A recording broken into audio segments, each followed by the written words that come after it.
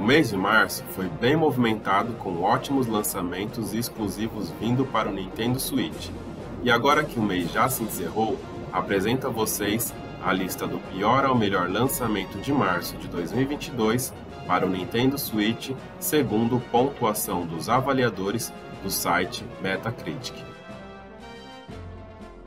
Sexto lugar, Chocobo GP. Segundo a crítica, é possível que Chocobo GP possa se tornar um respeitável jogo de kart no futuro, e a versão Free to Play significa que todos podem experimentá-lo sem precisar gastar dinheiro. Do jeito que está, o jogo precisa de trabalho, pois o produto atual simplesmente não é divertido. As magias e habilidades precisam ser melhoradas e as faixas precisam ser refeitas ou substituídas. Não há escassez de jogo de kart no mercado, especialmente no Nintendo Switch, e existem alternativas muito melhores disponíveis agora do que Chocobo GP em seu estado atual. No entanto, é difícil ficar bravo com o Chocobo GP, mesmo quando você é atingido pelo que parece ser uma interminável enxurrada de magia. O jogo é muito brilhante e alegre, e obviamente sua compra vai depender se você é fã de Chocobos. E ocupando o sexto lugar na nossa lista, Chocobo GP recebe a nota de 64 pelos avaliadores do site Metacritic. Quinto lugar, Phantom Break Omnia. Segundo a crítica, se você é um fã de jogos de luta, provavelmente não conseguirá ignorar os controles flutuantes, o fluxo do jogo solto e a mecânica frágil. Está faltando qualidade de vida básica, e todas essas coisas se somam. Se você está procurando uma introdução sólida aos jogos de luta, e gosta de anime, provavelmente encontrará pelo menos algum valor aqui. Existem outros jogos de luta introdutórios muito melhores que oferecem um fluxo de jogo mais suave e melhor espetáculo para os jogadores, e provavelmente mais baratos. A mecânica simplificada não é inerentemente uma falha, mas Phantom Break Omnia comete o erro fatal de simplificar demais. Apesar de ser melhorável em vários aspectos, é um jogo muito divertido adequado para qualquer fã do gênero. E ocupando o quinto lugar de nossa lista, Phantom Break Omnia recebeu nota 66 pelos avaliadores do Metacritic. Quarto lugar, Rune Factor 5. Conforme a avaliação dos críticos, ao projetar um simulador de fazenda, há uma linha entre a rotina tranquila e aconchegante e o tédio. Rune Factor 5 aterrissa diretamente no último.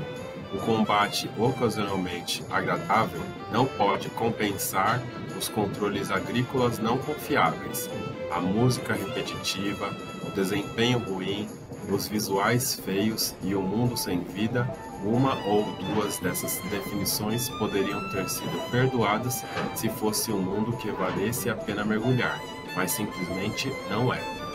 Um jogo tão cheio quanto Rune Factor 5 corre risco de ser esmagador, mas cada faceta funciona em conjunto com as outras tão perfeitamente que borra as linhas entre onde um elemento termina e o outro começa. Ele espaça o loop infinito de jogabilidade dos Sims agrícolas com um simples, mas agradável rastreamento de masmorras e lançamentos em um elemento cativante de personagens para uma boa medida.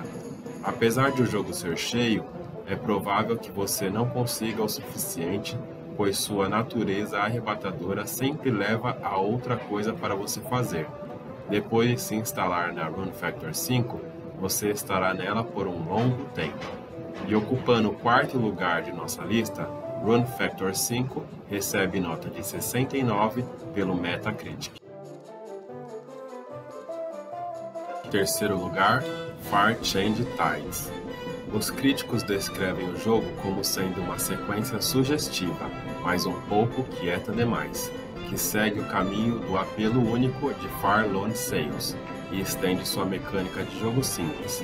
Far Change Tides é uma viagem carregada de emoção que revela a emoção de explorar o desconhecido, provando que a jornada é mais importante que o destino. Cuidadosamente trabalhada e belamente apresentada, esta é uma experiência essencial para os jogadores. E ocupando o terceiro lugar de nossa lista, Fire Change Tides recebe nota de 78 pelos avaliadores do Metacritic. Segundo lugar, Persona 4 Arena Ultimax. Os avaliadores desse jogo disseram que Persona 4 Arena Ultimax pode não ser o jogo de Persona que todos esperavam no Switch, mas certamente não estamos reclamando. O game oferece um sistema de combate 2D acessível, mas incrivelmente profundo, um modo RPG light que garante que os jogadores solos terão muito o que fazer, e tudo isso é apresentado na assinatura do Arc System Works e no impressionante estilo de arte desenhada à mão.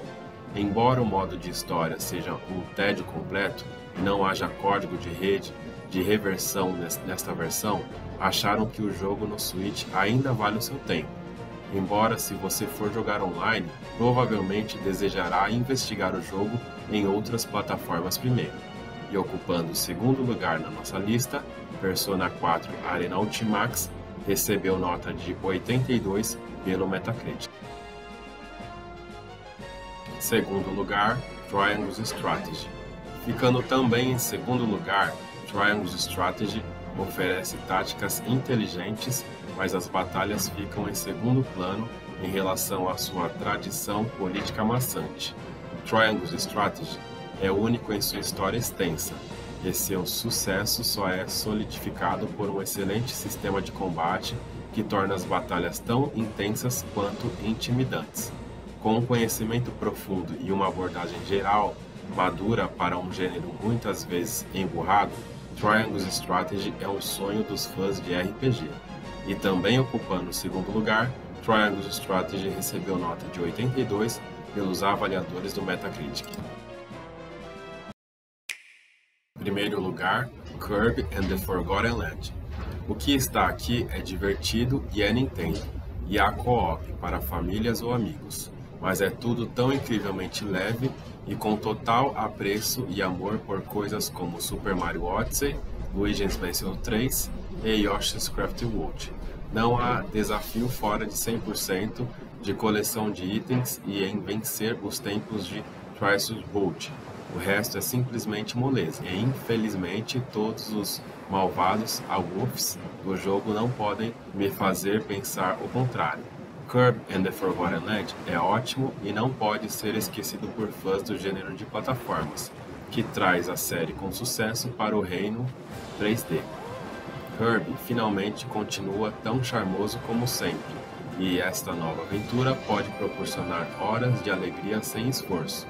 E ocupando nosso primeiro lugar, Kirby and the Forgotten Land recebeu nota de 85 pelos avaliadores do Metacritic. Mas e você? Qual desses jogos você teve a oportunidade de jogar? Você concorda com essas pontuações? Deixa aqui nos comentários que eu quero conhecer a sua resposta. Ah, e não se esqueça de curtir este vídeo, se inscrever no canal e ativar o sininho de notificações. Para o próximo Minuto Divertido Games. Tchau, pessoal!